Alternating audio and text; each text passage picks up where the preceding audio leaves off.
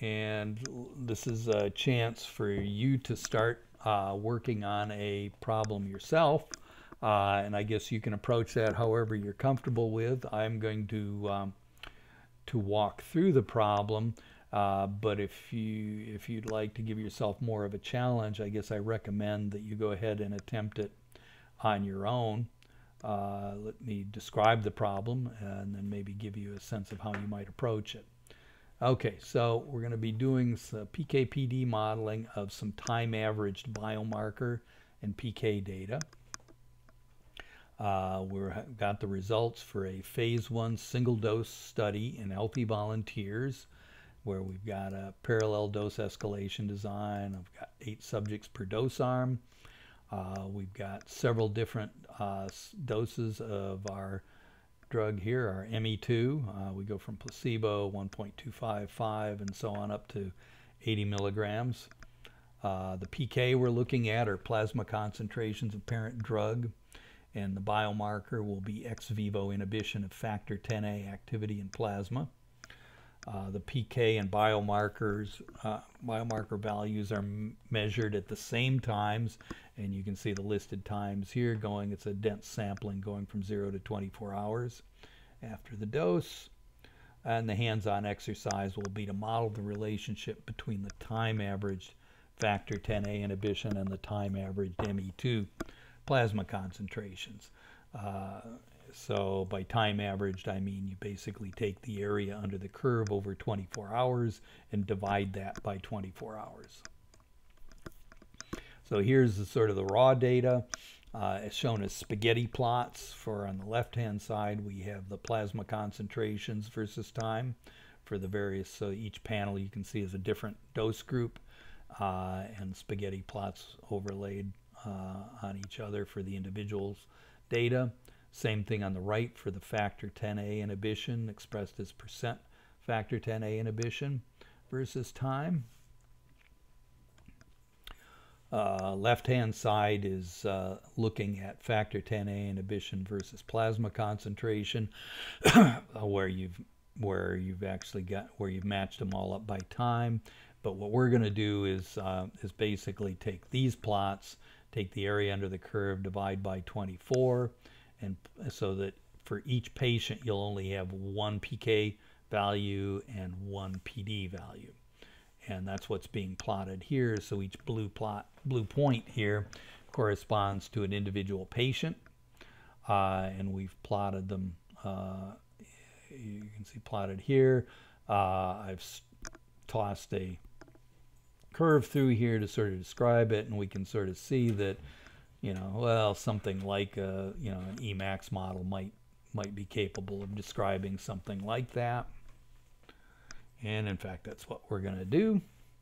Uh, we're going. I'm proposing that you fit a sigmoid Emax model relating our time averaged percent inhibition of factor 10A and oops, factor 10A activity, uh, and we relate that to the time averaged Me2 plasma concentrations in each of, each of our subjects. So here I've specified the model. So here, this is our, the E bar 24 rep means that uh, time averaged uh, factor 10A inhibition. Uh, that's going to be distributed normal with some mean E hat 24 and some standard deviation sigma. Uh, that E hat 24 is going to be our sigmoid Emax model with an intercept of zero. So we've just got Emax, you know, the C bar 24 then is our time average plasma concentration. So you raise that to the gamma and divided by EC50 to the gamma plus C24 to the gamma. Uh, we'll just throw some fairly weakly informative priors at this. Uh, Emax, I'm going to bound between by 0 and 100. I guess the implicit assumption is there is that if the drug has any effect, it is to um, you know it is to increase the percent inhibition I've explicitly excluded the possibility of it decreasing uh, the percent inhibition by setting a lower bound at zero. Uh, it's pretty reasonable that the upper bound has to be 100 because if you're decreasing something, the most you can decrease it is by 100%. Uh, okay, EC50 here, uh, I'm going to specify as a half normal, um, where the where I start with a normal 0 to 250 and then chop off the left half. Uh, similar thing for gamma, except I'll make it half normal 0, 5. And the sigma, I'm going to make half Cauchy uh, 0, 10. By the way, for those who might wonder what the rationale behind using the half Cauchy, I point out a particular paper here. Uh, don't have time in our short online thing to go through that, but there is a rationale for that. Okay, so we've got uh, in the course materials, I've provided the data, and this is the data file, uh, path to the data file here. Uh, if for version 1, I recommend using Linear 2 as a template uh, and, uh, and, for this, uh, I've actually already solved the problem in the form of uh, a model here I've called FXA inhibit average 1 uh, in the model directory. in the script directory, I have the corresponding R script for running this, and again, they're very much uh, comparable to the linear 2 case. Uh, and then uh, I'm going to step through also a second version where I'm going to that I'm going to use as an excuse to introduce some additional Stan features. In particular, we're going to take a look at uh, vectors and doing vectorized calculations. And uh, I'm going to introduce a couple more program blocks, something called transform parameters and generated quantities, which are additional blocks you can include in Stan models.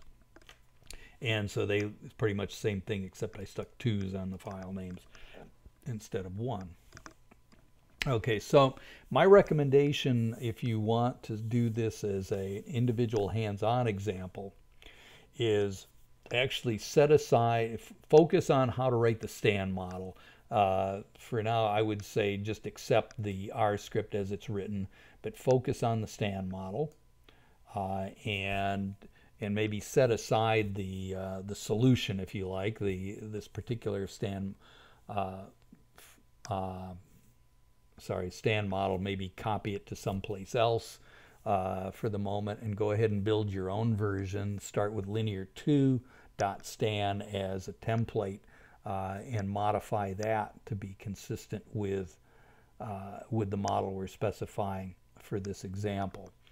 Uh, for the second one, we'll just uh, we'll just do that as as a demo. So anyway, so that's my suggestion to do this as a bit of self-study. Uh, I'm gonna actually I'm gonna pause for a little break uh, and then come back and basically show you the solution and go through uh, version two.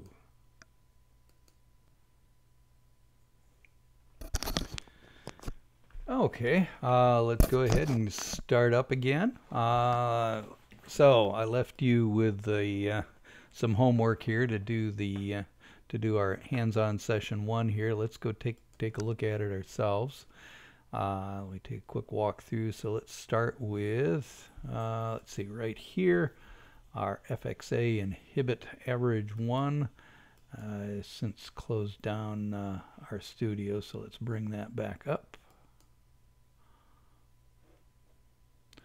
Okay, and let's get the corresponding, uh, actually let's make sure that that is set as our working directory. Boom, okay. Let's take a wander over to the model directory where we'll pull up the corresponding Stan file because that's the one we're going to want to look at. Okay, so let's step back to the model itself, remind you what we were going for. Okay, let's go up to, okay, so this is the model we're going to do. Um, a lot of this is similar to our linear example. Uh, the key difference really is right here. Instead of having a linear function, we're going to have a sigmoid Emax function uh, in here. Uh, in addition, I, I, I, introduced a parameter you have, or a distribution you haven't used before, which is the uniform.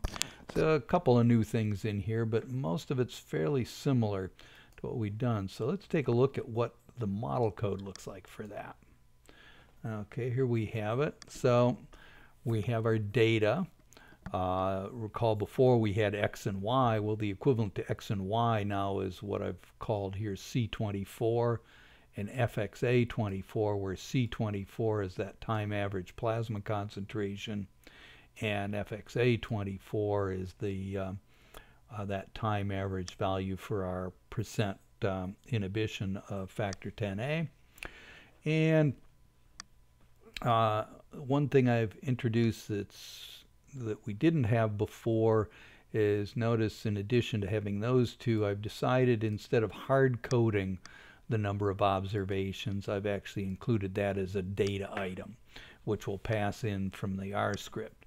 Uh, so and that's going to be number of observations here. So uh, and that's going to be an integer. So I've declared it as an integer. Uh, I've stuck a lower bound of 1 on that uh, for the number of observations and then I've declared each of our two items are basically our x and our y value to have that number of observations in there. Uh, maybe a comment I, before I've mentioned about um, bounds and just mention that a little bit about the role they play. Uh, when you specify bounds for data, the only point at which that's going to get checked is when it first reads in the data. Uh, I suppose in many, in a sense, it's really not, well, it, it isn't necessary to include it on data items, uh, but it's more of an extra check in here to make sure you didn't do something silly in your uh, in your R script and pass you know negative plasma concentrations or something in. Uh, but other but it only checks at that initial point where it reads in the data. Parameters are another story. Parameters, uh, when you put bounds on those, that's something that gets enforced all through the sampling process. Uh, and so it's it's more critical in in the case where you're specifying parameters. So anyway, speaking of parameters, we've got our parameters block, and we have our various parameters. We have an Emax, an EC50, our gamma, uh, and sigma for standard deviation in here.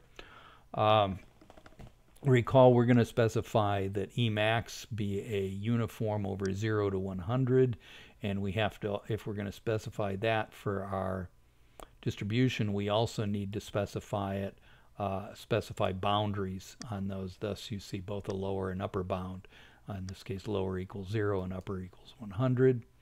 Our EC50, gamma, and sigma should all be uh, non-negative, so I've put lower bounds of 0 on all of those.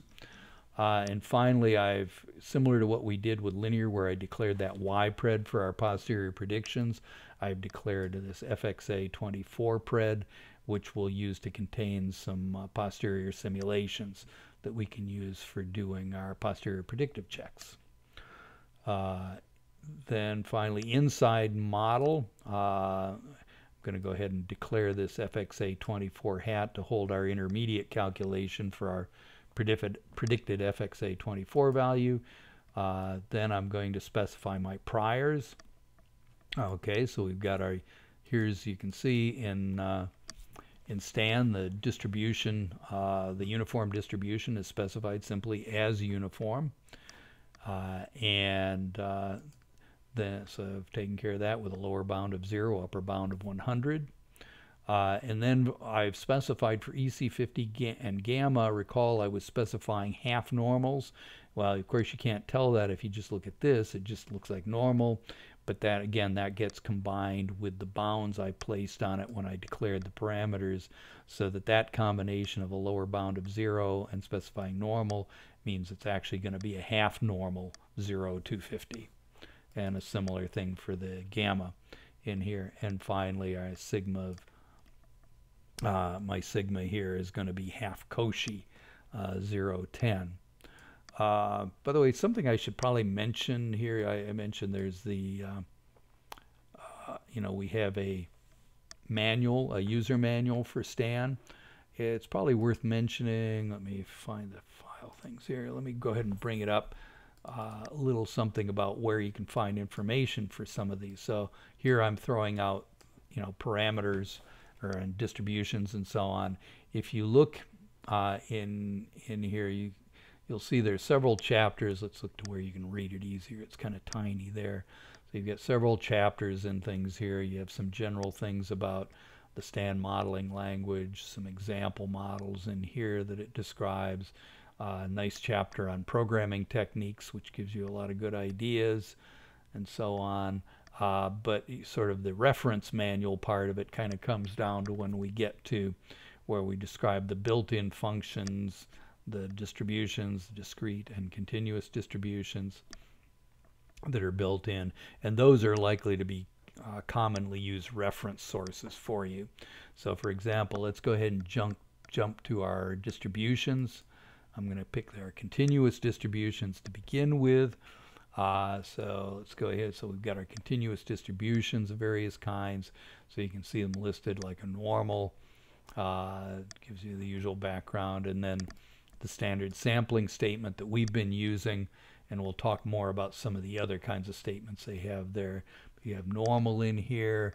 Uh, can go down. We've got, you know, um, various things. Uh, they've, they've got all kinds of distributions, exponentially modified normal distribution, a skew normal, student t, uh, and so on, and Cauchy, and so on. So it describes all of these, you know, uh, you know, so for example, one that we just used, where do we go here? Bounded continuous, probably there we go. The first one they list under that heading is the uniform, which is what we just uh, just used here.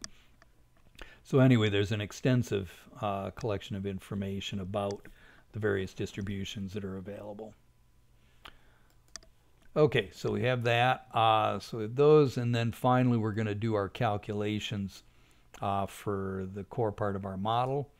The first part here, where I'm calculating this FXA24 hat, will be to calculate our um, uh, calculate our sigmoid Emax model. So notice, first of all, this is all in a loop going over the observations. So i equals 1 to n obs here for observations. And for each one, we're indexing by i. And on the right, you can see our sigmoid Emax model. Uh, exponentiation operator is a caret symbol, uh, just like r uh, in here. And otherwise, it's pretty straight ahead. It looks just like the equivalent r function in here again, except for sticking a uh, semicolon on at the end. And then finally, our likelihood. It's just like our linear model. It just says, you know, FXA 24i is normal FXA 24 hat i sigma uh, for that. And so that specifies our likelihood. And here, we're going to use a sampling statement for generating some posterior samples here. Uh, uh, where we throw that in FXA 24 pred. Uh, the R script uh, is almost, you know, is very much like the one we did for, for the linear case, the particularly the linear 2 example.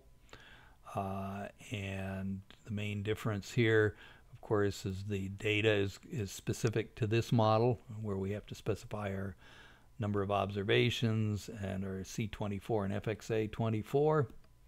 Uh, the other thing that's different here is I didn't hard code the data in here. I'm calling it in from a file, which you can see is located in the uh, data directory. Particular, well, data dir up here was defined as uh, where'd it go? Here we go, right here.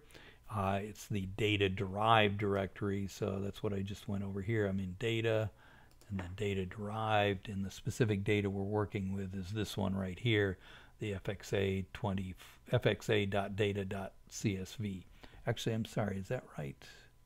Now I got to remind myself which name am I using. It's I think I was actually just misstated that. Where'd it go? Yeah, it's fxa.data.average.csv, which is this one. Yeah, here I can do a quick view file here. Well, it's just a it's a comma delimited thing, so it's not very nice to read the way I just brought that up. Uh, but you can see it's just a fairly simple, uh, you know, typical CSV file. Uh, okay, so we did that. I provide some initial estimates uh, for all of our parameters. And then a lot of the rest of this looks very much similar uh, right down to even the posterior predictive distribution thing looks the same other than changing uh, the names of the uh, uh, of the axes. So let's go ahead and run that thing.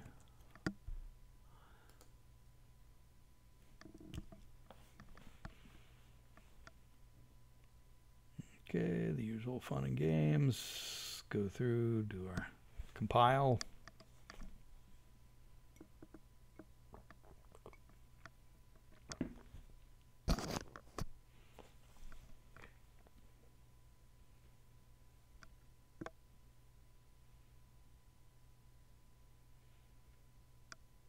Oh, that's right. It's something else I need to point out for you. Um, RStan actually, the stan function actually has some built-in capabilities to take advantage of uh, parallel computation uh, within a single computer. Uh, and I'll show that to you, actually maybe will it let me show that to you while it's running? I think so. Yeah. Let me go down. Uh, and oh, where did I specify that? Excuse me. Oh yeah, here we go. Forgot where I specified it. Uh, you can either do it at this stage or you can specify an argument in the stan function called cores. But if in here where I specify the options, MC cores equals parallel detect cores, uh, I think that is sufficient to make to make the fit statement uh, operate. And yeah, it will actually operate in parallel. So if we go back to, oh, it's already done. Uh, if you actually look at the thing going on up here, uh, is okay sorry something was surprising me why it's not showing the which chain is associated with each of these, but you can see that the chains are sort of interspersed with each other. Uh, so it's actually doing this in parallel. Had we looked, I could have shown you that the um, uh, that uh, four cores were, were actually up and running at the time uh, when this was doing this. Okay, so it ran. Uh, we get some of our usual little annoying messages, usually minor areas uh, where you have maybe uh, one problem along the way. Uh, those none of these are biggie. For instance, this statement here, where it just had a count of one, no problem. We can ignore that. Uh, the one that's potential issue that we'll talk about later in an example is this statement where it makes reference to divergent transitions. That's a potentially more serious problem. Again, we'll cover that somewhat later where I can talk a little bit about potential remedies uh, for that. Uh, it turns out for this example, it's not exactly a fatal error, but in some cases it's more problematic. But otherwise, things ran along just fine. Uh, let's see what it gave us back. Uh, we can go now. Notice under figure, we've got a new folder here corresponding to this model.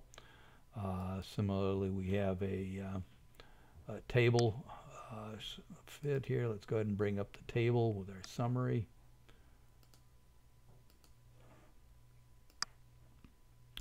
Okay, uh, R hat looks good, so no apparent convergence problems. The effective sample sizes are all reasonably high here. Uh, and uh, we got all of our estimates in here. And we got our Emax of, uh, we got a posterior mean of about 88.8 here, and EC50 of about 115, a gamma that's pretty much sitting right around 1 uh, with a fair amount of precision. It's got a 95% credible interval going from 0.87 to uh, 1.25 and a sigma of about 6. So let's see what the fits look like on that. And let's see here, so some of our diagnostics here. Uh, are, you know, well, we already saw the R's in the table. Those were all pretty clean. Uh, nothing shocking in our effective sample sizes or in our autocorrelation. Uh, here we've got our fuzzy caterpillars. Uh, nothing that, uh, you know, it all looks pretty clean like fuzzy caterpillars. Again, the only question is this when you have divergent transitions, it actually puts little red marks here at the sample where that happened. Uh, notice there's none after uh, that early time, so probably not a lot to agonize over. Uh, the uh, each chain seems to be describing roughly the same distributions. Uh, so we got our summaries here. You know, everything's pretty clean. Um, by the way, this is actually an example that sort of illustrates the strength of, of the Hamiltonian Monte Carlo simulation for this kind of a model. Uh, for notice we've got some pretty extreme correlation between Emax and EC50 uh, and also to some degree with the gamma estimates here. Uh, that's that's fairly common with uh, with asymptotic models like this where one of the parameters is essentially a measure of the asymptote and another is largely a measure of how quickly you get there uh, and and when when you do this model with a Gibbs sampler like bugs or with the or with NONMEM, uh, what you'll tend to find is that uh, that it causes a lot of problems with the sampling, and you end up having to do very large numbers of samples uh, in order to get an adequate characterization. Alternatively, you can reparameterize the Emax model so that the the parameters that you're sampling are not so strongly correlated as the Emax and the EC50. In fact, that's typically what I used to do with this particular example when I taught this course using WinBugs. Uh, but with the HMC sample, it can traverse these uh, sort of tight ridges that you get in the uh, posterior distribution quite well so that you don't have to resort to such strategies. Anyway, so anyway, just pointing out again a strength of the HMC sampler. And finally, here's a depiction of our posterior predictive check here where we're just looking at, again, just the, uh, you can see all the observed data and then the posterior median and 90% credible intervals about that, which do a nice job of describing the data. Okay, let's take a look at a variation on this model. Uh, in particular, let's go, um, let's see, we got to go back up to, let's look at the model itself, the, the second version of this, where I introduce a couple of other things in here. Um, well, the key ones, we'll ignore a couple of these for the moment, but the key ones here uh, we'll see is where I introduce a couple of new uh, a couple of new blocks. In particular, I'm going to introduce the transform parameters block and something called the generated quantities block, which are going to be new to what we're doing. And I just realized, I think I brought up, yes I did, I brought up the wrong file here. Sorry about that. Here's the right one. There we go. Okay. Uh, so we've got, uh, okay, again, same thing, transform parameters and generated quantities I'm going to introduce. Uh, the data uh, step is largely the same. We'll ignore the, uh, uh the commented outlines for the moment. Uh, so data is the same. Parameters is almost the same, but in this case, in parameters, I'm only including um, only including the sort of the core parameters of the model. Uh, the derived quantities we're going to instead declare uh, at least some of them inside the transform parameters block. And what I'm doing now is sort of breaking up the model calculations between transform parameters and model. Uh, and a couple of things I'm doing. One is uh, I'll go ahead and declare my, this intermediate calculation parameter here, that FXA24 hat. Let's declare it inside the transform parameters block. And what the transform parameters block is that's where you can do all kinds of calculations that depend upon uh, both parameters and data in here. Uh, but what you cannot do in transform parameters is you can't have any uh, sampling statements like the prior distributions and the likelihood statement cannot appear in there. Uh, so usually what I tend to do is I usually uh, tend to put most of, I guess, what you might call the deterministic calculations in transform parameters and reserve the model block primarily for the stochastic components, the ones where we have sampling statements. So up here, you can see in transform parameters, I've moved my uh, calculation here uh, where I'm doing the calculation of the FXA 24 hat. And that looks pretty much like we did before inside the model block, except I'm doing it, uh, except again, it's in this other block. Uh, the other thing is, is I'm not, the other key thing that I've changed is notice inside the model block, there's no loops. And in particular, there's no loop associated with the likelihood statement that I have right here. Uh, the priors are identical to what we had before. But recall before, in fact, let's go ahead and bring up the original one. The original one, uh, the likelihood statement was right here, and I calculated that separately for each, uh, each data element. Well, it turns out I can actually vectorize that. I can do it as a vector calculation and do it in all in one go without subscripting on those i's. And, and besides being a cleaner statement in here and a simpler statement, it also turns out to be uh, beneficial from a computational point of view. Stan has been optimized to take advantage of this to more rapidly uh, calculate this. And I'm actually not going to do, I don't think I'll do it right now, but uh, if you compare these two examples, you'll find that uh, this particular example does run significantly faster with the, uh, you know, with the uh, vectorized version of this than it does for, uh, for the unvectorized. The other thing I've done is recall before uh, we did the posterior simulation right here. It turns out that's not very efficient for a number of reasons. Uh, for one thing, probably the dominant reason why it's not efficient is the model state, the items inside the model block are calculated once for every leapfrog step in the HMC sample.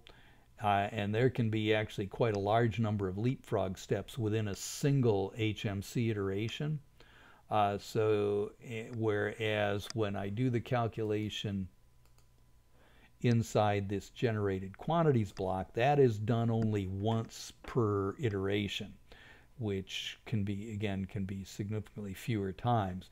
So if you can move calculations into this block because they're not really required for doing the fitting, uh, that's generally going to be more efficient than putting them inside either the model or the transform parameters block. So that's what I've broken these things out uh, in this way then. So, so again, I've moved the uh, calculation of fxa hat up into the transform parameters block.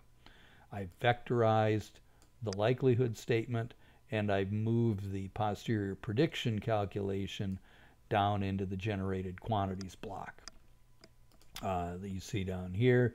So you can see I've now done my declaration for FXA 24 head pred down here instead of in the parameters block and I've got this calculation down here.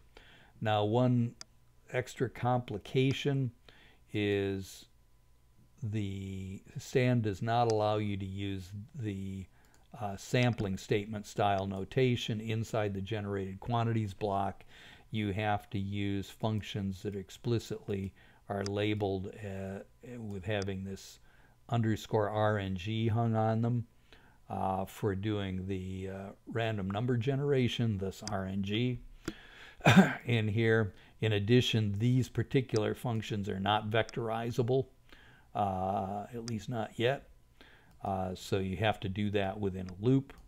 Um, but in this case, you're not paying a, uh, a, a computational, extra computational price for that.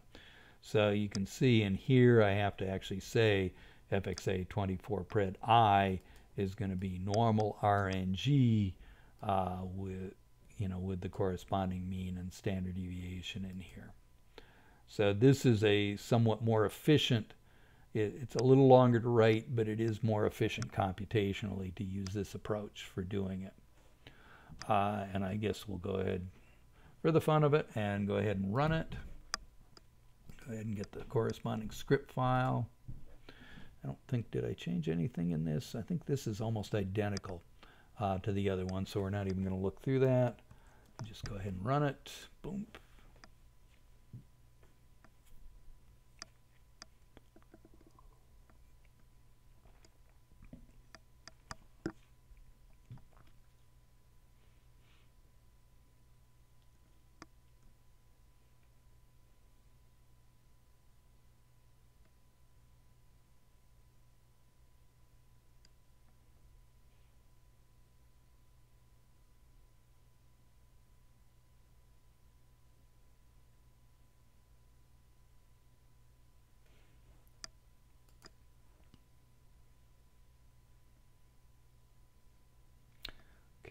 Finished. Do we still have that? No, that one even had more divergent transitions. Again, we'll agonize over that later. Okay, so but but again, that should have run uh, successfully in that. Other than the, those issues, uh, see what the pictures look like. It should look pretty much the same. Uh, okay, maybe not. Let's see what it did.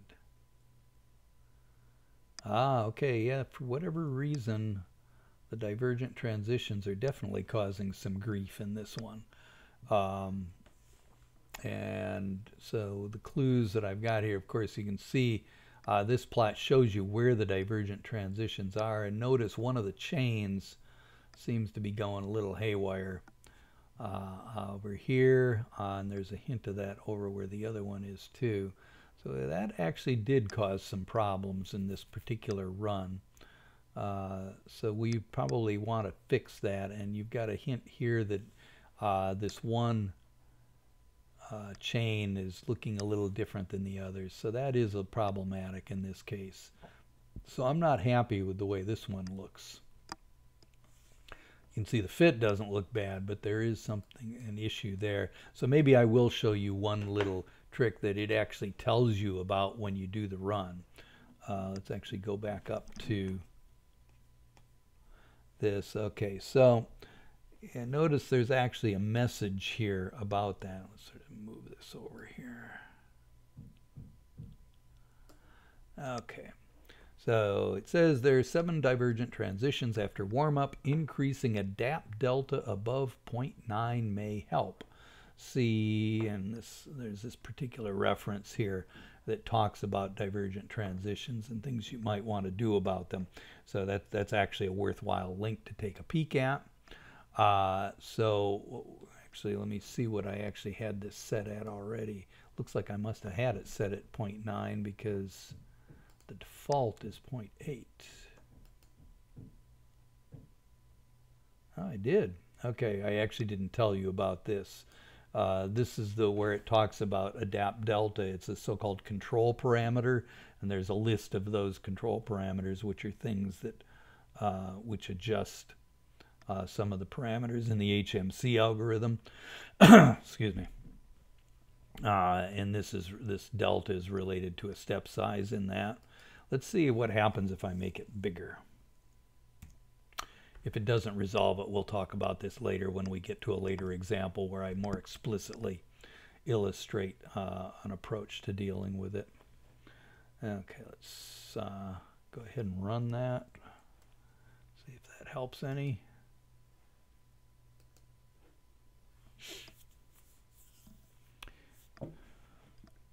Anyway, that, by the way, is the first thing you try, is to try adjusting the adapt delta, making it larger uh, to see if that resolves the problem.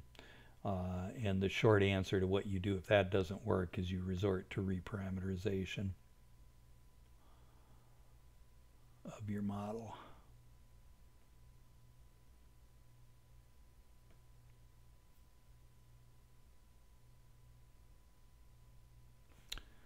Okay.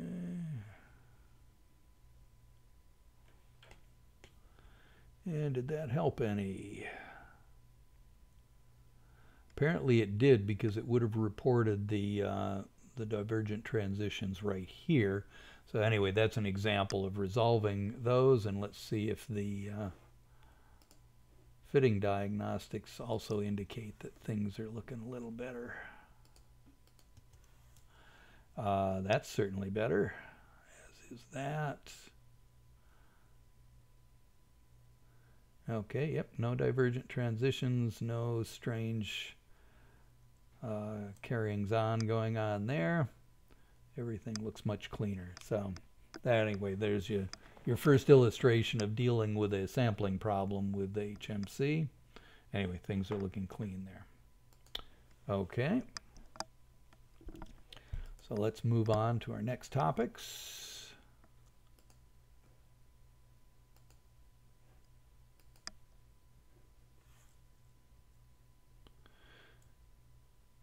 Okay, we've sort of hit on this indirectly as we've gone through this, and I'll just uh, sort of reinforce uh, some of the message here about assessing convergence and a little bit about adequacy of sample sizes, though for uh, to speed this up a little bit, I'm going to sort of step over some of that. Okay, so with MCMC, uh, in general, the early samples may be unrepresentative of the target distribution. The target distribution in this case being the uh, posterior distribution we're trying to sample from.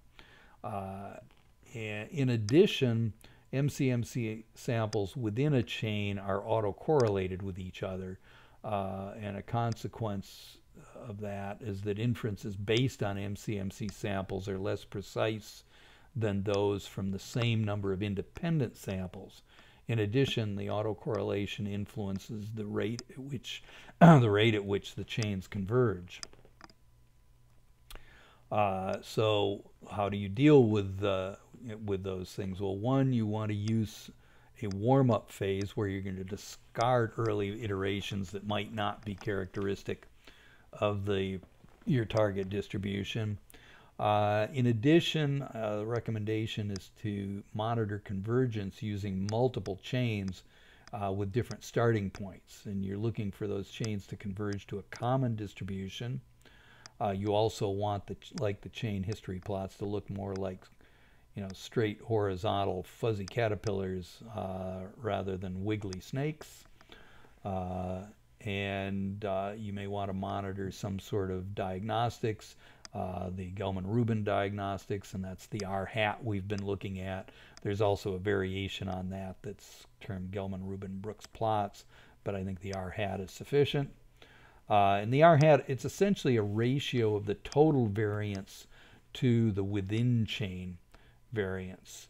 Uh, so generally you what you'd like is for that to be close to 1 if you have chains that are somewhat divergent from each other, that will tend to make the total variance bigger compared to the within chain variance. Uh, so, and here I've put some history plots that illustrate problems. Uh, you can see, for example, this sigma here. Uh, notice that each chain is actually, the chains are completely separated, which clearly indicates that they're not describing the same distribution, so there's a problem there. Uh, here you've got our uh, this other one, this fee previous OAD. Uh, the chains are very much wiggly snakes. Uh, they're they're somewhat intertwined, which is a good thing, but they're still very slowly wandering. So uh, at the very least, you don't have enough samples, and there's even some hints that they things are still wandering off in a systematic direction. So that's not good. That's compared to what we see down here where everything looks pretty much like decent uh, fuzzy caterpillars and all of the chains are intertwined with each other. Um, I'm going to skip over the how many samples thing. It is important to get an adequate number of samples for our own uh, purposes within this class. Uh, the main focus that I'll use for that will be the effective sample size we're looking for that to be reasonably large. Uh, you know, if your if your main if the inferences that you're interested in are mainly focused around characterizing the central tendency of your model parameters, then something in the, you know, you know, if you're in the 500 to 1,000 range for your effective sample size, that's probably more than enough for doing that. If, on the other hand, the, your uh, your key inferences depend upon tail probabilities or tail quantiles, those require a larger number of samples uh, in order to uh, to get precise characterization of those quantiles or probabilities.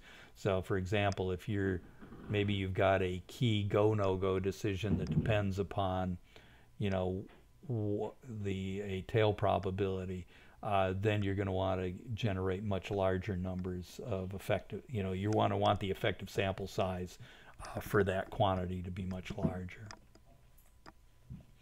And as I mentioned in this, I give a reference, uh, couple of references here if you're really interested in uh, learning more about, you know, how many samples uh, should you really be getting for different types of inferences. Okay, uh, next step in here I want to talk about is how we program hierarchical models, or what we're in our in pharmacometrics we're often referring to as population models, which are a specific category of hierarchical models. So let's start with sort of our typical population modeling case where uh, we're going to model two levels of variability, say inter-individual and residual variability. Uh, and we've got our data structured uh, in a way where you can sort of think of, you know, it's kind, of, you know, it's mostly sort of a square table, or equivalently, it's a bunch of equal length vectors uh, in here, uh, where I've got data values for each observation associated with those. I have some individual identifier uh, in here for uh, for each individual. Uh, and in this case, we're going to use consecutive integers beginning at 1. So like sub, you know, individual 1, individual 2, and so on. Uh, we might have some covariates in there and so on. Um, and in our data set, we're likely to also include a few constants, things like number of observations, number of patients, uh, perhaps the parameters of our prior distributions, and so on. In doing this, and as our demo for this, I'm going to do a, a, hierarchical model for dose response. This essentially this is a model-based meta-analysis, uh, model-based dose response analysis where I've got my data consists of sample mean responses from five clinical trials. Uh, and in this case, the individuals in this are not individual patients. They're going to be individual clinical trials. So instead of, so our, the equivalent of inter-individual variation here will be inter-trial variation, and they're going to be modeled as random. Uh, here I've actually shown the entire data set off on the right hand side here. So we're going to number our studies from 1 to 5. We've got 5 studies. On the left you can see a depiction of the plots here showing response versus dose. Uh, so think of each data point corresponds to a treatment arm within a study, and each curve is a study.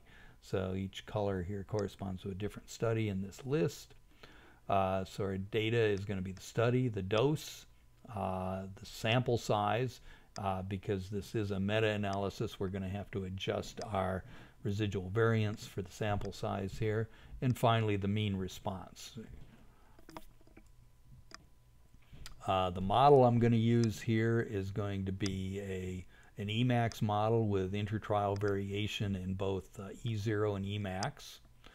Uh, so, and I'm going to do a log normal uh, residual variation, so you can see that represented here. So my log of my response in the, uh, let's see which way did I use I and J here. So the so the it's the ith response in the jth trial, or actually it's really the ith arm in the jth trial uh, in this case. So the log of that is going to be normal, uh, log of e hat, uh, and our standard deviation is going to be some hypothetical individual patient standard deviation divided by the square root of the sample size. Uh, and so essentially, it's the standard error of those reported means. And, uh, and the E hat here is going to be just a simple Emax model with a non-zero uh, intercept, so, which is going to call E0, then just Emax times D over ED50 plus D. And notice I've got subscript J, uh, subscript J's on E0 and Emax because I'm going to include inter-trial variation on those two parameters. And here you can see that I've got, I'm going to make E0 log normal, so I'm going to say log of E0 is normal uh, with some uh, central tendency, you know, E0 hat and a standard deviation omega E0 and the same sort of thing for Emax. Got some, whoops, weakly informative priors um, sticking on these things. You can see I've got half normal uh, 0 to 10 uh, for the E0.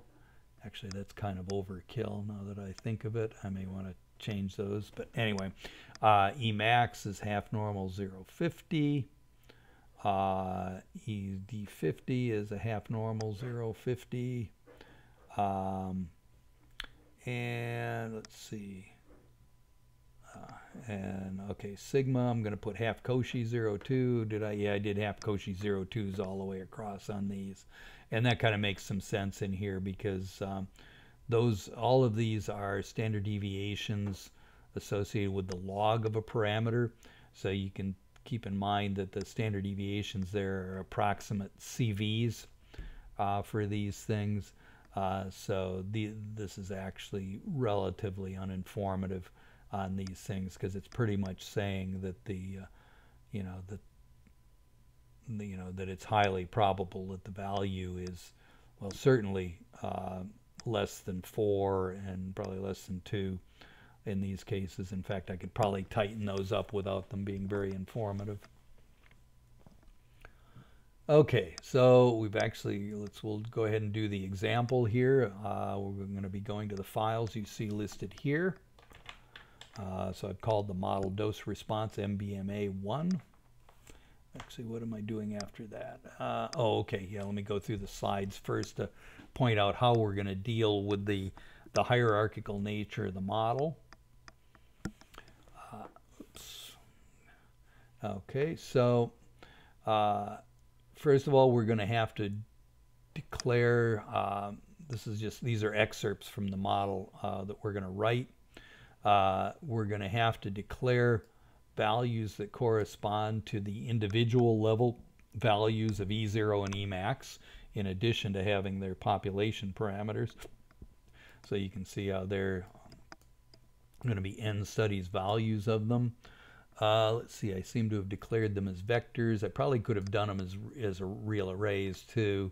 Uh, I'm trying to remember if I'm doing anything that would keep me from doing that. Yeah, I think I could have done them as real arrays too. Um, and and inside the side the transform parameters block where I'm going to calculate my you know central tendency for the response based upon that Emax model well, it's going to be, you know, the E0 plus the Emax part. Uh, in order to select the appropriate E0 value for a particular study, I use nested indexing. Uh, as you can see here, where I've got, I'm going to get a value corresponding to study I. So remember in the data set, step back to that, the data set for each data item will have a value for the study either one, two, three, four, or 5. And so in here, so this value here is going to have a value of one of something between 1 and 5 uh, in here uh, to pick off the appropriate value of E0 for a particular study. So the so the ith basically the ith row of our data is going to contain a value study i which corresponds to that particular data item. Uh, and the same thing for Emax. We'll use the nested indexing for that uh, to calculate it, and all the other calculations are pretty much familiar characters here. Uh, and then finally in the model block, I'm going to be, in addition to specifying priors and the likelihood uh, for, the, for the response itself, I'm also going to be specifying uh, the distributions corresponding to the intertrial variation in E0 and Emax, uh, which in this case I've specified as log normals uh, in, in here. I could have either written this as log E0 is distributed normal or, or do it this way using the actual built-in log normal distribution in STAN. Okay, so let's take a peek at what the entire model looks like. Uh, okay, where we go? There we are. Uh, let's get some of the flotsam out of here. Uh, start with a clean slate. In fact, let's start with a complete. Well, no, we, won't worry about it. I'll just uh, clear out this so it's not confused by that. okay, so uh, let's see, as long as we're in the script directory, let me go ahead and pull up the corresponding R script and then go over to the, uh, oops, too far, too far up there. Let's see.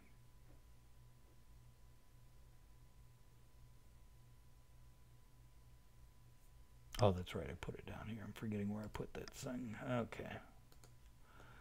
Uh, let's go into the model directory here and pull up the corresponding Stan file. Okay, here we go. Uh, so we've got you know a lot of data items in here. I'm going to specify how many studies there are, how many total treatment arms, which is equivalent to the total number of data points in this case. Uh, and then for each treatment arm, I'm going to have a study value, a dose value, uh, a sample size, and a response. So you can see for each one of these, we have uh, we have a dimension of n arms for those. Uh, let's see, I declared uh, a couple of these things, I declared them as vectors in order to facilitate some vector-based calculations. Uh, in fact, my, the general rule I tend to use, though it's probably not critical, is I tend to start out when I write models declaring things as arrays uh, and switch them to vectors or um, vectors, row vectors, or matrices if certain calculations can be done more efficiently if they have those forms. Uh, so that uh, anyway, that's kind of my loose rule of thumb on that. Um, okay, so my transform data in here, uh, I'm going to specify the likelihood in terms of the log of the response. So I'm just going to go ahead and transform the data right here. So my likelihood will be in terms of the log of the response rather than the original response value. Uh, then in parameters, uh, the first parts of these are just sort of the, our core population parameters. But in addition, I'm declaring uh, the individual level parameters, in this case the individual trial level parameters uh, for E0 and Emax.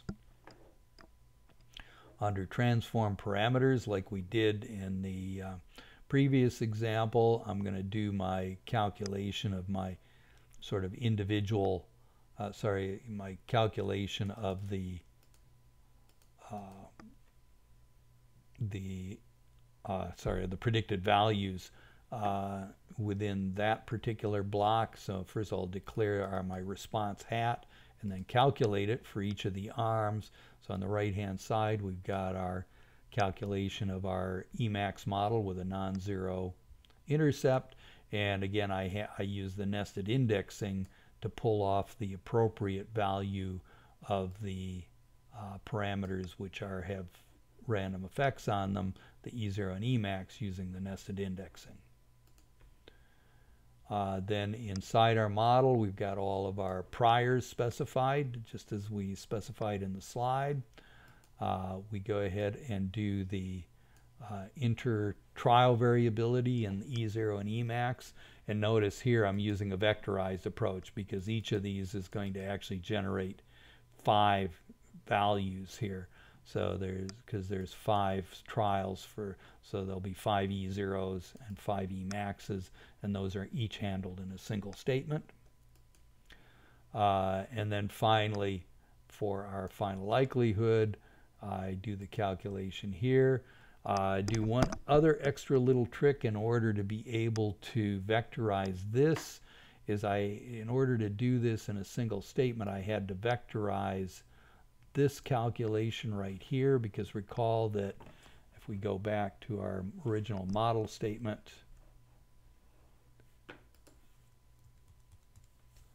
let's go up here, uh, the we have to sample size adjust our standard deviation here. Uh, and to do that, a couple of things are going on. Uh, for one, that's why I ended up specifying the sample size as a vector rather than as a as an array uh, here uh, so that I could do this vectorized calculation. And one other little trick here is right here. Uh, instead of uh, the standard deviation, or I'm sorry, the standard division uh, operator cannot do operations on vectors, uh, but they have a specialized one where they stick a period or a dot before it. So it's dot slash is a vectorized version of the division. There's also corresponding things for uh, for the other main operators like you know plus, minus, and and multiplication. Uh, that allows this to the end result of this then is actually going to be a vector of values corresponding to the uh, different observations in here. Uh, so, so that's just doing the trick. Uh, the other trick in here is, uh, where was I going here? Okay, is uh, is to do the square root. There is not a vectorized version of square root, but there is a vectorized version of exponential. So this is just a trick here uh, to be able to calculate the, the equivalent of log n over the square root of 2. Okay, that was a long-winded way of saying calculate sigma over the square root of 2, or I'm sorry, square root of n uh, in a vectorized way. So that takes care of that. Uh, and then down here, uh, we've got our generated quantities block, which gets a little bit more complicated uh, for our hierarchical model. To do the simple individual predictions uh, in here, we can actually just use the response hat we already calculated and just do this calculation here where I'm where I just uh, uh, well this is sort of a long-winded way of doing a uh, log normal here where I take the exponential of something where I've sampled from a normal distribution in here using the response hat I already generated back up in the uh, in the transform parameters block and that will give me my individual predictions and by individual predictions I mean you're predicting a new value in the same trial as the ones that you analyzed. Uh, I use the term here, I, I stuck response and I stuck COND to indicate this is conditional on the uh, on the individual estimates of our E0 and our and our Emax here. So it's conditional on the observe on the observed data for that particular individual or individual trial in this case. That's and that would be a prediction analogous to an IPRED for NONMEM. Uh, for uh, for the population predictions, we have to do a bit more uh, because in addition to uh, to doing the simulation using that previous response hat, we actually have to generate a new response hat uh, to you know and generate new E0s and Emaxes based upon the population parameters because what we're now trying when I mean population prediction I mean we're predicting a what you would expect for a new observation in a new trial uh, so it's going to be somewhat more variable because now we're actually simulating what amounts to essentially a, a bunch, a new trial or new individuals, if you like. Uh, and so to do that, I actually have to go through and simulate new values of E0 and E max, which is what I'm doing here. And you can see I actually did use the log normal RNG in this case to generate those. Uh, and of course, again, there'll be one corresponding to each study, thus the loop going from one to n studies. And then for the uh, to calculate the prediction here, I have to first calculate the corresponding response hat, and I stuck the word pred on those to distinguish it from the original response hat. And now, again, I use the nested indexing, but I'm applying it not to E0 and Emax, but to E0 pred and Emax pred to do the calculation.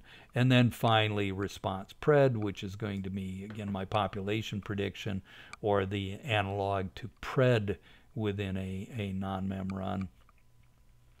Uh, I calculate, excuse me, I calculate again in much the same way as I did this previous calculation, but where I replace response hat with response hat pred.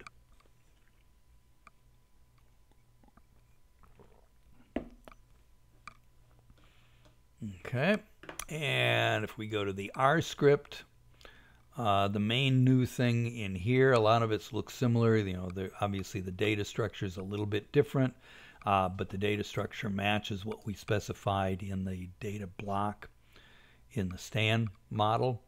Uh, the other thing which is different in our in our initial estimates is I also provide initial estimates for the individual level parameters. Uh, technically, you don't have to, uh, but I find it often stabilizes the sampling process, uh, particularly during the uh, the earliest sampling phase. So I generally recommend it. Uh, in this case, I didn't bother putting sampling them from random distributions. You can if you prefer. Uh, but in many cases, but I usually don't think of that as as critical as it is for the population level parameters. Okay, so we're gonna so I specify those, and otherwise it's very similar until we get down to my posterior predictive distributions. And the thing that will change there is I you as I do posterior predictive checks for both the individual predictions, what I called response cond, as well as the population predictions. Again, this is analogous to IPRED and PRED in a NONMEM setting. Okay, let's go ahead and run this. I forget how long this take. Hopefully not too long. Uh, oh, that's right. I need to pull these up. I might. Yeah, sorry. I forget which environment I'm in. Uh, okay. Um, I think we're still. Let me just double check that we still have the right working directory. We do. Let's just go ahead and run that guy.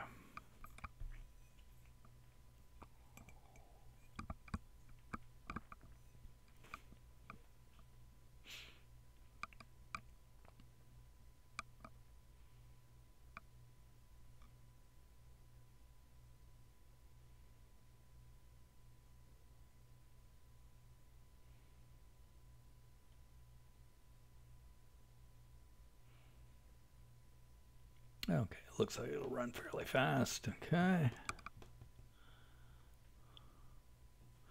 It's pretty small data set, so I shouldn't be surprised.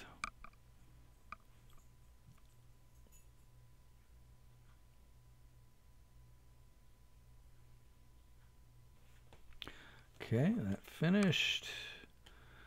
What did it say? Oh, it had some divergent transitions in that one too. Okay. Didn't remember that that did that, but whatever. We'll see what it did to us. Okay, so let's take a look at what we got with that. Uh, let's actually look at the graphical diagnostics first. Uh, those are clean.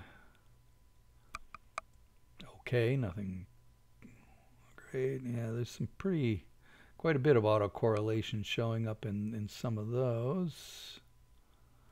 And let's see, we kicked off a few divergent transitions sort of down near the tail. Uh, there's maybe a hint of a little nonsense going with one of the chains there. Not not sure how bad it is. Nothing super awful, I suspect, but still something we might want to resolve. Because um, otherwise, they look like reasonable fuzzy caterpillars. Uh, each the distributions seem to be comparable for all the chains. Nothing shocking there. There's our individual level fits, yeah, and this is our population fits. So again, individual level is for predicting new observations in the same study. Uh, population predictions is for predicting new observations in a new study. Uh, though in this case, I'm simulating new studies that have identical designs to the original studies uh, that we that we fitted in this case. I think that was it. Yep. Uh, let's see. Uh, I can't remember if I need. What did we have here in our? Say, oh, I already had adapt delta at 0.99. Okay, so I don't think. Yeah, I'm not going to bother to fix that with this. We will talk about reparameterization for dealing with uh, with this. So adapt delta didn't fix it since I already pushed it up pretty high here. Uh, so we'll take a look actually in our next example for a strategy for for dealing with it when that's not sufficient to resolve the problem. Okay, let's see where I was going after that. Ah, that was going straight to hands-on number two. In fact, so what I'm going to do here actually is let's uh, let me introduce that example to you. Whoops, here we go.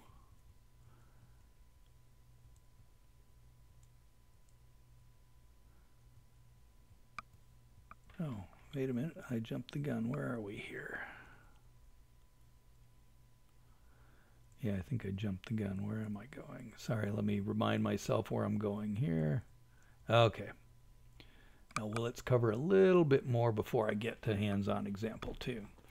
Okay, uh, I'm going to try and describe uh, the individual and, and population predictions uh, in a slightly different way than I did as we were going through that example, in a way that seemed to has helped other people in the past. So let's see if it works for you. Okay, so uh, in this schema, I'm going to let's identify sort of some key elements in here. Uh, so first of all, uh, up here, theta represents our sort of the our core model parameters or what you might call sort of the population parameters. So in the examples we just did, this was the things that we would include like the E0 hat and the Emax hat and so on uh, here. Uh, but in addition, uh, we have individual specific parameters in our model. Uh, so, and what I've called here is theta j is these would be the parameter values uh, conditioned on the jth individual's data.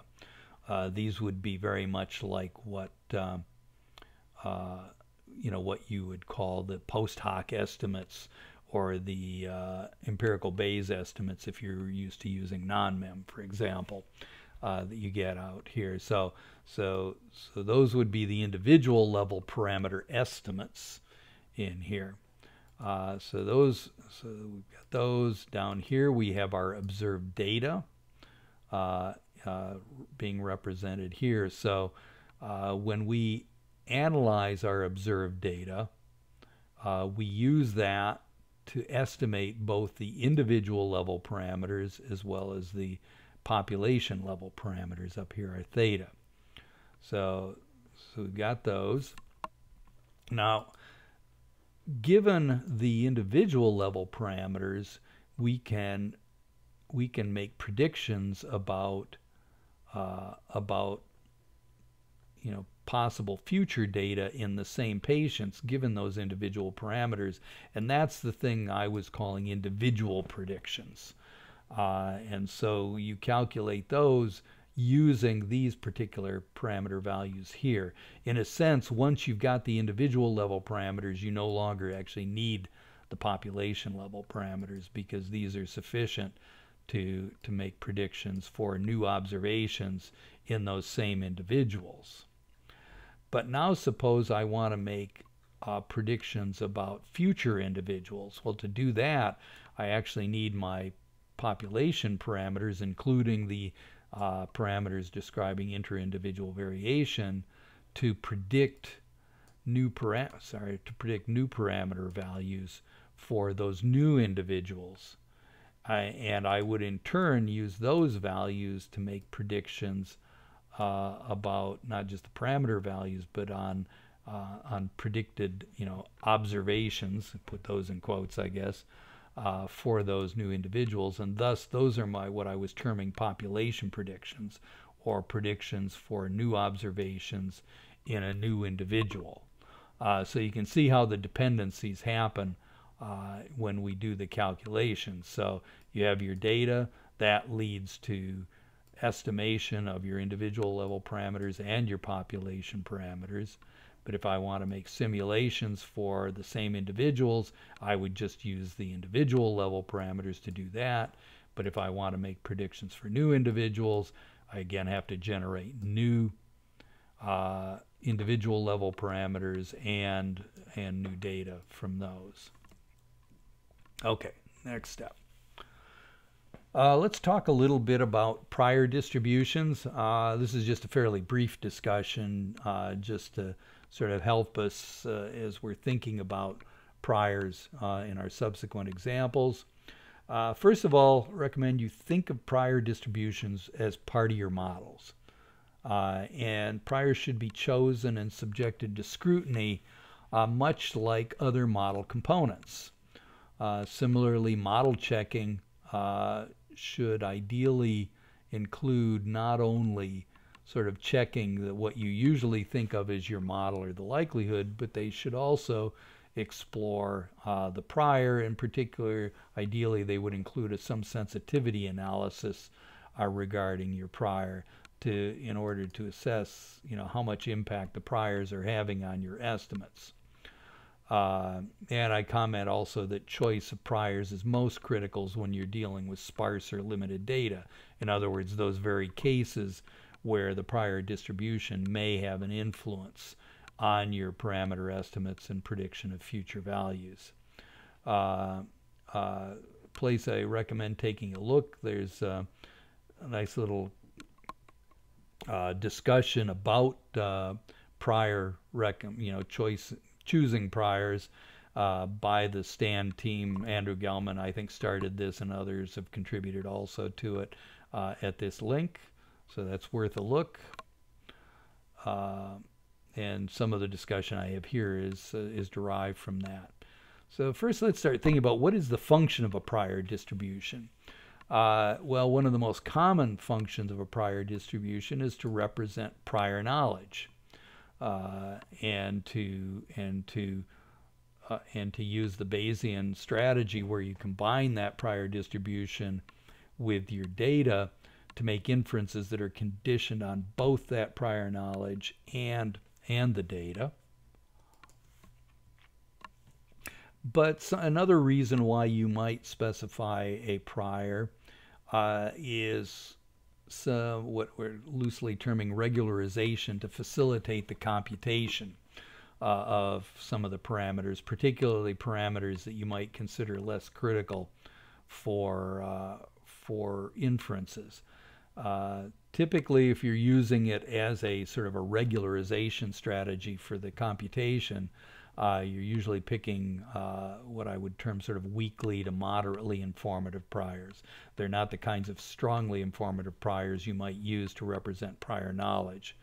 Um, and an example here uh, is something like a Cauchy distribution where most of its mass is in what you might consider a plausible range given whatever your state of knowledge is. But it has heavy tails uh, that allows you to diagnose uh, any discrepancies between uh, you know the posterior and the prior.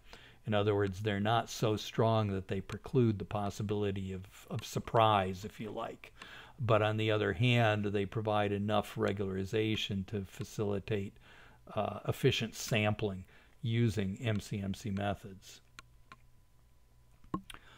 Uh, something that also comes up is, you know, what does it mean to be informative, uninformative, or weakly informative?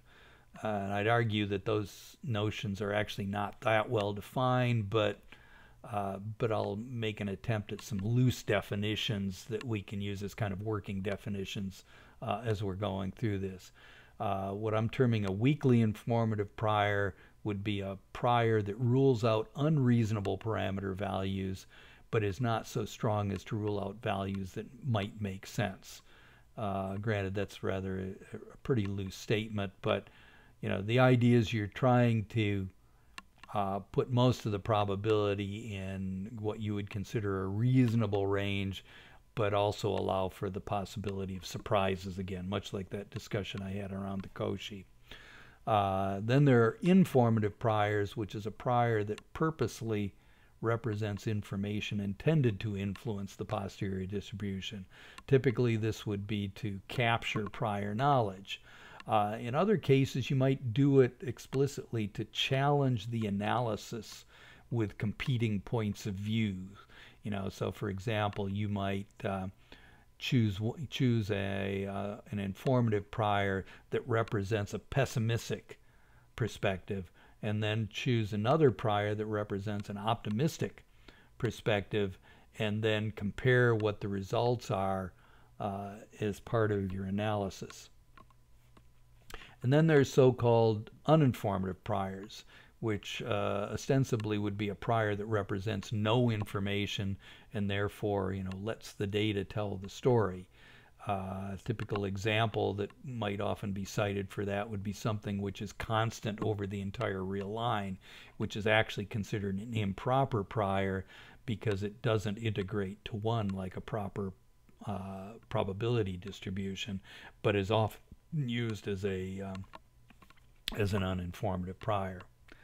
Uh, but I here I caution you that sometimes that thing that you think is an uninformative prior might not be an uninformative prior.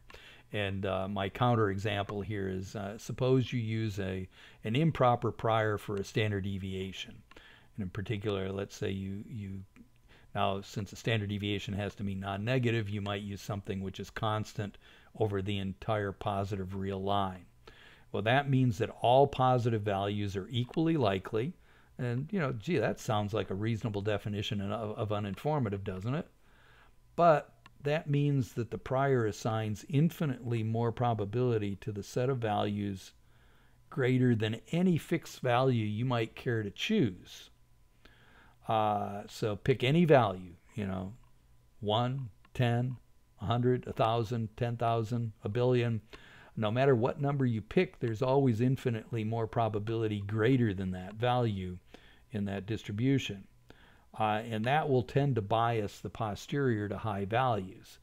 Uh, and the bottom line to that is that a uniform distribution does not automatically confer uninformativeness. Uh, you have to take care in how you apply it. So anyway, those are just a few things that uh, to, to be considered along the way. You'll see that in much of the following examples I'll use, I probably don't attempt to be completely uninformative. Instead, I will tend towards what I would term weakly informative priors uh, that you know that rule out you know really extreme values. Uh, because in most cases, uh, we're dealing with models where we have some notion of at least the order of magnitude we're working with. So I will exclude things which are, you know, you know, you know, or many orders of magnitude bigger or smaller uh, than what we would one might consider reasonable. Uh, there will also be examples I'll use where I explicitly use informative priors because they're intended to represent prior knowledge uh, which in many cases we have when we're dealing with more mechanistic models along the way. Okay. So, and then a brief note about truncated priors uh, using STAN. Um, we've actually already seen examples of those where we've used truncated prior, tr sorry, truncated distributions uh, in the case of truncated priors. Uh, and in the, that for prior distributions, specifying parameter bounds is sufficient to represent uh, truncation on prior distributions. So you've seen the half normals I've used and half Cauchys. Uh, that would be fine. But for for distributions which are uh, that occur elsewhere, which do not represent prior distributions, but uh, other distributions within in our models, uh, we have to use a somewhat different strategy. Uh, and so, as I say here, truncated priors for derived parameters um, or data, we have a, there's a particular syntax in here where we modify a distribution using this modifier that's represented by a t, uh, and, then, then in parentheses we have uh, well, you would have a lower and upper bound uh, with inside that. So, for example, suppose we have our, you know, maybe our data we want represented by a truncated distribution that has some lower and an upper bound instead of, you know, so where it's a truncated normal, I would say y, sorry, y is normal with some mean and standard deviation, and then immediately adjacent to that normal distribution, I would put this t with a lower and upper bound in here. Uh, in addition, if you leave either of the bounds blank, that, that represents an infinite bound on, on that side of it, so you don't have to specify both bounds. Uh, so that would be a way of saying, okay, I want a normal distribution truncated below by L and above by U. Uh, similarly, when I declare my Y's, I would want to also include those bounds uh, when I do that declaration. Uh, some limitations with truncation is you can only apply it to univariate distributions and you can't vectorize this statement. Uh, so you would so if mu, if say y is actually a group of values, you'd have to enclose it in a loop to deal with that. And then I just also put an admonition here that this is not the same thing as censoring. Uh, we'll talk about censoring a bit later, but that's a different creature than truncation. Okay, so finally we get to hands-on example two, uh, where you get to do uh, something with um, uh, something with uh, with a hierarchical model, a population model in this case.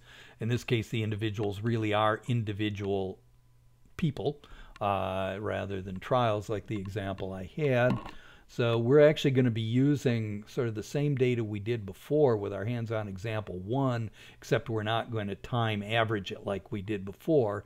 Uh, we're going to use all of the, the raw data in here. So we're going to, particularly, we're going to do PK-PD modeling on the time-matched biomarker and PK data this time. Uh, this is actually the same specification as before as the as the trial. It's again, except we're not going to time average the data. So we're going to do a direct action PK-PD model on those time match factor 10A inhibition and Me2 plasma concentration data. So again, we're working with the same data. Here we're looking at uh, the time courses for both the plasma concentrations and the factor 10A inhibition. But in effect, what we're doing is modeling what you see on the left. Uh, so these are spaghetti plots for factor 10A inhibition versus uh, the plasma concentrations. So basically, we're going to be fitting all of these individual curves using a population model. Uh, and the model we're going to use, uh, we're going to use a sigmoid Emax model with no intercept on this. Uh, so it's similar to what we had before, except again, we're not doing time averaging. Uh, and we're going to put some inter-individual variation on which one? On EC50. And we'll keep it simple and just do it on one of the parameters just to, to illustrate this for the hands-on example. Uh, our Residual variation is just our, so our effect here, our percent inhibition is going to be normal with some mean, our E hat, and standard deviation sigma. Uh, our predicted values here are going to be our uh, sigmoid Emax model where we have inter-individual variation whoops, on the uh, EC50 thus the uh, subscript J on the EC50 parameter. Uh, in here, and that's going to be log normally distributed uh, as shown here in this statement. Uh, we'll use some weakly informative priors, fairly similar to what we did before. Uh, you know, Emax is going to be uniform 100. We've got some half normals on EC50 and gamma, and half Cauchys on the uh, on our omega EC50, the standard inter-individual standard deviation uh, for our EC50 and our residual uh, standard deviation here. Uh, the data is, whoops, the data, uh, you can see here, it's this file fxa data.csv. Uh, we can actually take a peek at that if you want, just so you can get a visualization on it. let's see, data, boom, derived. See, that's the FX8 to this one. Let's make that so you can see it a little better. Okay, so it's just a simple table here. It's got a bunch of stuff we're actually not going to use. Uh, we've got some covariates here we're actually not going to use in, uh, at this point. Uh, so the key things you're going to want to use are going to be basically subject, uh, concentration, and this is the factor 10A inhibition. So are those, yeah, those are really the only um, objects we're going to use in the data set dose is, is not used in this model because we're going to use concentration directly uh, as part of the model. Uh, the subject, I've already set this up so that it's they're numbered in uh, consecutive order, one, two, three, and so on, up to however many subjects uh, are in this. So that's our data set we're going to work with. Uh, again, I would, similar to what I recommended before, uh, I suggest you maybe put aside the, uh, the, the Stan model file and try to build it up yourself. Uh, there is a corresponding R script. Uh, that don't bother trying to build. you know, if you want to, feel free to build it yourself, but you can uh, certainly work with it directly. The main thing I recommend that you learn is how to build the Stan model uh, component on here. Uh, this bit about the non-centered parameterization to remove or sorry, to improve sampling efficiency and prevent divergent transitions. We'll walk through that after you have a chance to take a look at the original uh, before we uh, explore that particular strategy. So that's my recommendation is to take a look at that. I'm actually going to break off now and uh, let you uh, take a shot at that uh, on your own and then uh, I'll come back and we'll take a look at it. Okay, bye for now, and uh, we'll resume after you've taken a shot at it.